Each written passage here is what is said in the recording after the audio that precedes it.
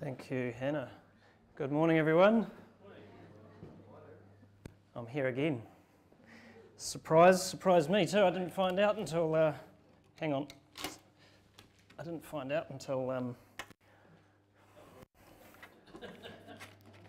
just hang on here. Sorry. I need a new stand. The legs come completely off. Okay, good morning, everyone.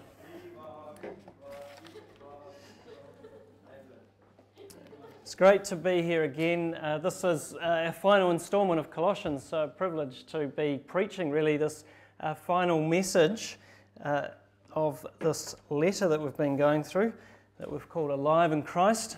Uh, so let's, um, let's pray and then we're going to have a look at what this says to us this morning. Lord, thank you that uh, this is your word, and Lord, we want to hear it. Uh, Lord, pray, work in our hearts to hear it well and to uh, respond to it well uh, in your way as you call us, as you shape us by your word. Uh, help us to know what it means to be alive in Christ and what it means uh, from Colossians to be alive in Christ. and Lord, pray that we wouldn't just hear it as words on paper, but as your living word to us even today. In Jesus' name, amen. Good, right, I need some volunteers. Uh, need quite a few, so if you're thinking about it, I'll probably end up um, David's first again. You're going to get the same name as earlier this morning. Right, this is our first. We want to have a bit of a look at these names, this list of names we get at the end of Colossians. Uh, first one is Tychicus. Now, you'll realize with hard names in the Bible, you just say them as if you know exactly how, they, how they're pronounced. So um, that's, that's a good lesson to learn. Tychicus. Um, now, Tychicus uh, accompanied Paul through Macedonia. We read about him in Acts 20. Uh, he went on ahead and he waited for Paul in Troas, uh, and he was then uh, sent to Rome as well, uh, sent from Rome to deliver these letters. This letter and a number of others, probably Philemon. Uh, and so he was the mailman. Good. Right. Who else wants to volunteer? I'll deliver Christmas presents to everyone. Let your yes be yes, David. Who else wants to die? Yep. So you are now Onesimus. Okay. Just pause there. You, you, I'll have one for you.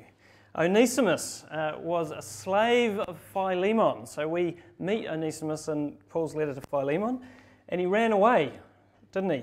Uh, Paul met him in prison in Rome, and uh, he came to faith, and Paul disciples him and then sends him back to Philemon. Where did Philemon live? In Colossae or maybe Laodicea, uh, hence the connection here in this letter. So he was a defective slave, but he found grace. Okay, the next one we meet on this list is a guy called Aristarchus. I now name you Aristarchus for the time being. He was a faithful companion of Paul on his missionary journeys. He went on with Paul even to Rome, where it seems he was also in prison with, with Paul for some time. And, sorry, Aristarchus, it seems like you were martyred under the persecution of Nero, along with many other Christians. Here's an easier one. We might know this guy. Who wants to be Mark? Mark, where are you? Thank you.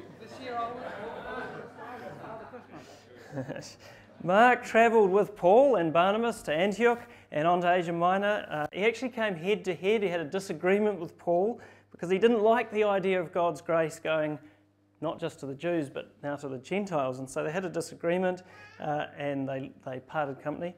But they mended their relationship. And Mark went on, of course, to do what? Write the gospel according to Mark, yes.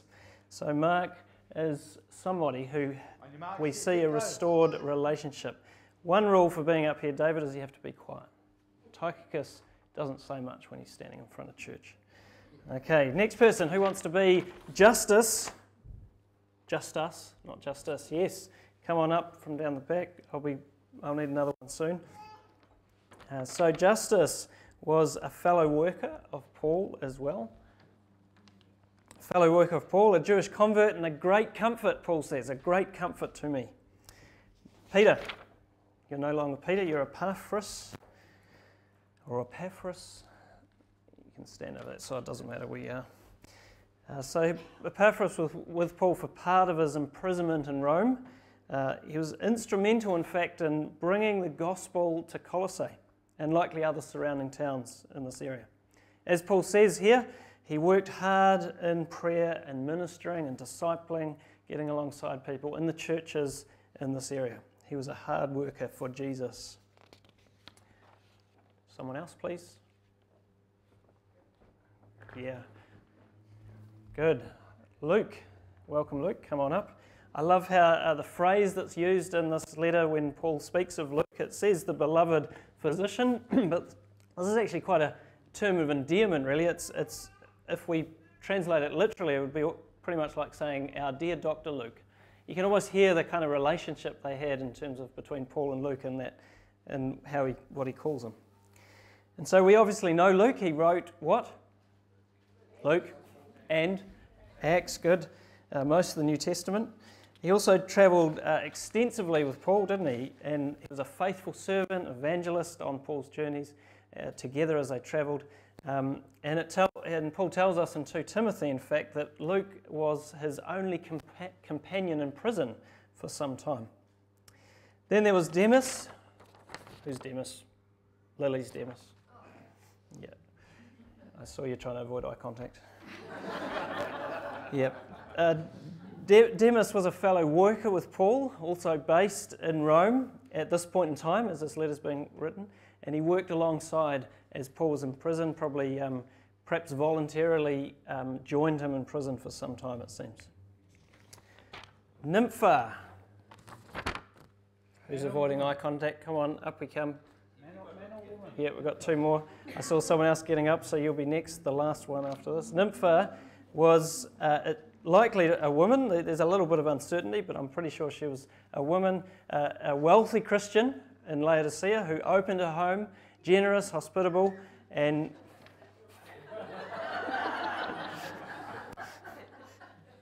uh, generous and hospitable, and it's where the church was meeting, uh, as you can hear in this, these final words of Paul in Colossians. Colossians. Archippus. Final one. There's 10 names mentioned here at the end of Colossians. He was actively involved ministering in the Colossian church. Uh, Paul calls him his fellow soldier, in fact, in the work of the Lord. Fight, so he was fighting for the gospel. So we have these 10 people lined up, um, considered uh, worth mentioning at the end of Colossians. Uh, so often, if you think, what do we do when we read these letters and read Colossians and you get to the end? When you get to these names, what do you do? Yeah. You think, oh, it's just the names now, and you kind of flick through them quickly and get to the end. Um, but I think it's important to pause on these people here and think about what do we notice? What do we learn from this that we, uh, as Colossians closes off today? Well, what I notice, one thing I notice, is that actually we see some pretty ordinary people here. Pretty ordinary people being listed by Paul. You know, sometimes we think uh, that the Bible kind of parades the saints, you know, and, and uh, here's, a, here's one of those saints, and we kind of think that they're, these holier, holy, holy people that we have no way of reaching, and so uh, they, they look like that, apparently. Um, and so that's what these are the people the Bible speaks of, and we're really nothing like them. But here, though, I think we get to see something different. I think we get to see some ordinary people.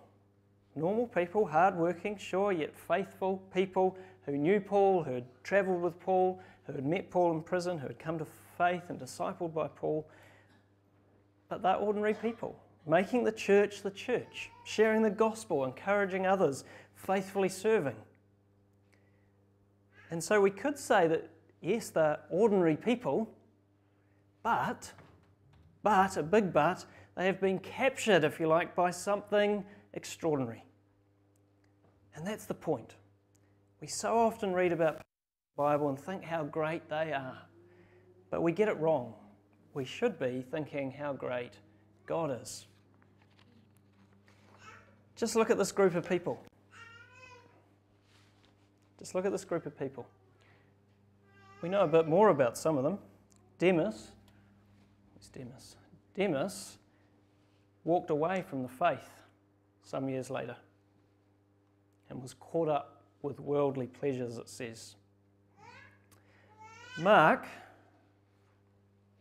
as I've mentioned, left Paul over a disagreement. Uh, Onesimus, we've heard already, was a runaway slave. He took off from Philemon.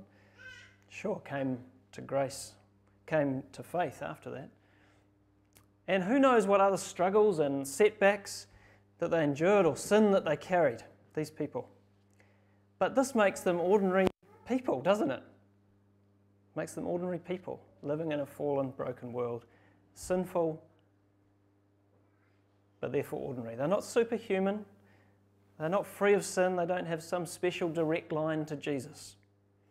They experience failure and broken relationships and struggles. They're ordinary men and women. So, on that note, you can all sit down. Thank you. You can take those with you. Keepsake. They are ordinary men and women. Yet, what we are seeing here at the end of Colossians is that they have been captured and transformed by something extraordinary by the gospel, the gospel of grace, the gospel that makes ordinary people extraordinary, that makes dead people alive, even. Because what are we calling this series through Colossians?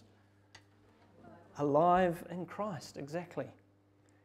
In some ways, it seems we're getting to meet these ordinary people here at the end of Colossians uh, because they are living examples, if you like, of what it means to be alive in Christ what it means to come face to face with the extraordinary, what it means to hear and believe the extraordinary truth of Jesus Christ that this letter tells us about. If you remember, we, we uh, went through Colossians 1, verse 15 following says this that Jesus is the image of the invisible God, the firstborn of all creation, for by him all things were created in heaven and on earth. It goes on, and he is the head of the body, the church. He is the beginning, the firstborn from the dead, that in everything he might be preeminent. For in him all the fullness of God was pleased to dwell, and through him to reconcile to himself all things, whether on earth or in heaven, by making peace by the blood of his cross. That's extraordinary. That's extraordinary. That's what God has done. That's who Jesus is. And these are the lengths he has gone to to save a people for himself, to redeem a church, to restore creation, even, to make people who would otherwise be under judgment, lost, and alienated from God, as it says, alive again, quickened, animated, attuned to the things of God instead of the things of the world, alive in Christ through faith. This is the message of Colossians. This is the message we've been hearing through this series, this extraordinary God makes ordinary people alive in Him through Christ. And this is picked up on uh, as we moved into the next chapter of Colossians, chapter 2, verse 12 following, says that having been buried with Him in baptism, in which you were also raised with Him through faith in the powerful working of God, who raised Him from the dead, and you who were dead in your trespasses and the uncircumcision of your flesh God made alive together with him, alive in Christ, having forgiven us all our trespasses by cancelling the record of debt that stood against us with its legal demands. This he set aside, nailing it to the cross. This is extraordinary. This is the extraordinary truth that we see these ordinary people uh, listed at the end of this letter outworking. Ordinary people, extraordinarily transformed by the gospel ordinary people who simply and completely trust in Jesus and seek to live their lives His way and not their own. And this is not unusual, in fact, to see this ordinary side to the people that we meet in the pages of Scripture. Just look at Jesus' disciples, even. They were a ragtag bunch of ordinary people, weren't they? Before they met Jesus, even as they met Jesus. I often am struck by the kind of mundane scene that we are presented with in Matthew 4 when Jesus is walking along the sea, uh, along the shore of the Sea of Galilee. And there out in the water are Simon, Peter, and his brother Andrew. And what are they doing? A very ordinary thing, aren't they? They're casting out their net. They are ordinary fishermen going about their daily work.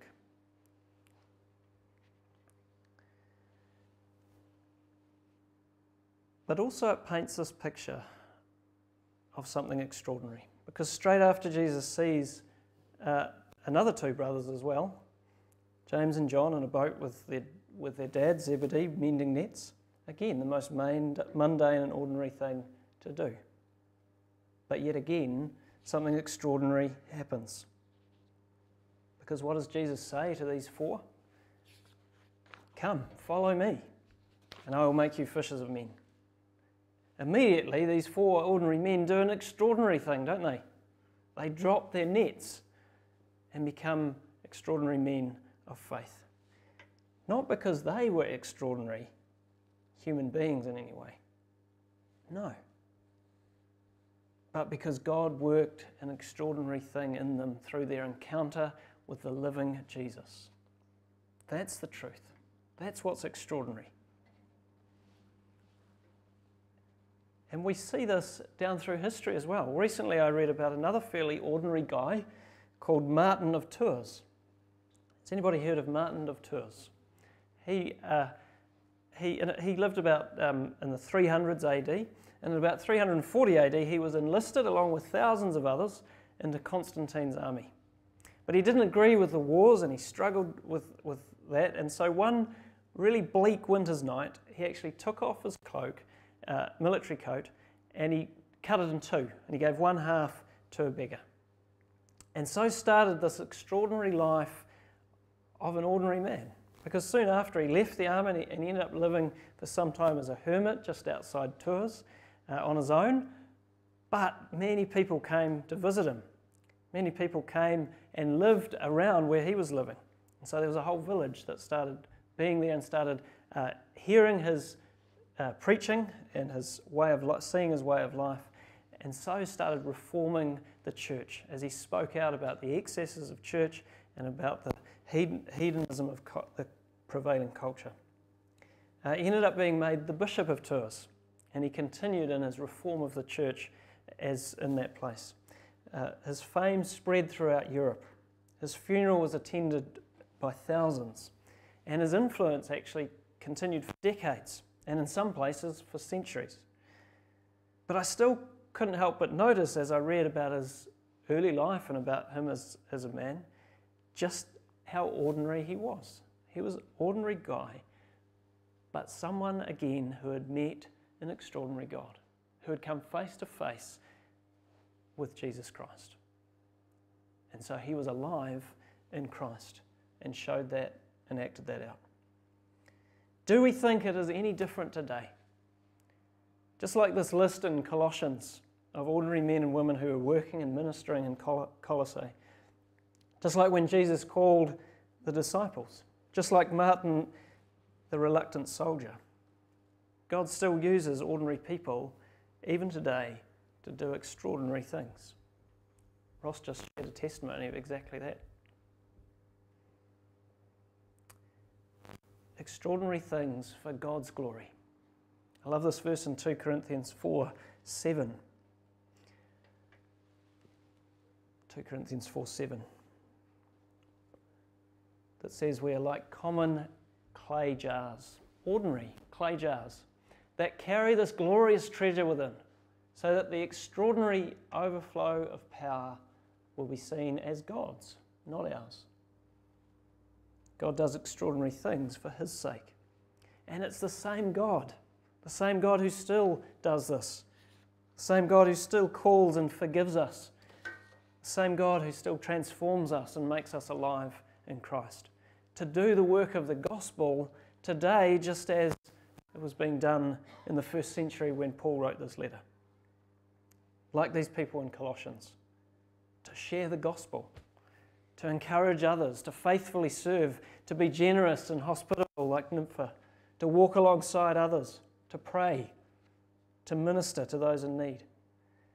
And I know so much of this goes on every day in this church through its ministries, through its people. This is the extraordinary work of ordinary people who have encountered the living and life giving Jesus and believed. I guarantee we could write the end of this letter with names of people from this church inserted instead. In fact, we kind of just did. They were standing up here. And so, because we can see ourselves in Colossians, we also need to hear these final instructions that are given by Paul, don't we? Given by Paul by the inspiration of the Holy Spirit to ordinary people, to God's people, then and now. Verse 2 of this final chapter, we read God's word speaking to us continue steadfastly in prayer, being watchful in it with thanksgiving. Verse 5 says, Walk in wisdom toward outsiders, making the best use of the time. Let your speech always be gracious, seasoned with salt, so that you may know how you ought to answer each person. These are pretty ordinary instructions, but ordinary instructions that are ongoing. If you look at how it's written, they're ongoing, they're standing orders, if you like. Uh, continue steadfastly, it says. Continue. Keep doing it. Keep praying, being watchful with thanksgiving. Walk and keep on walking in wisdom. You can't just be wise one day and decide you're going to be a fool the next, right? Always be gracious, it says. Always, not just to people that are easy to be gracious with. Uh, season with salt, so that you may know how to answer how you ought each person.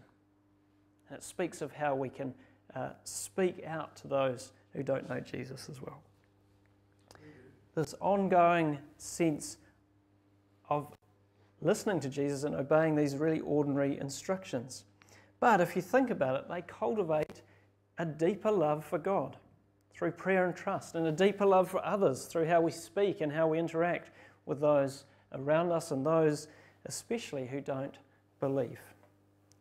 And so, what happens as we do this stuff? a growing ability for ordinary people to be God's extraordinary people, loving God and loving others, doing God's will, serving, ministering, encouraging, walking alongside, helping, telling people about Jesus. Just as we see these people doing that Paul lists at the end of this letter. So, although I might be at risk this morning of the accusation of preaching a pretty ordinary sermon. I'm not worried. Because the message this morning is that out of the ordinary, God does extraordinary things through those that are alive in Christ. Miracles. That's the end of Colossians. So, as it says in the final verse, grace be with you. Amen.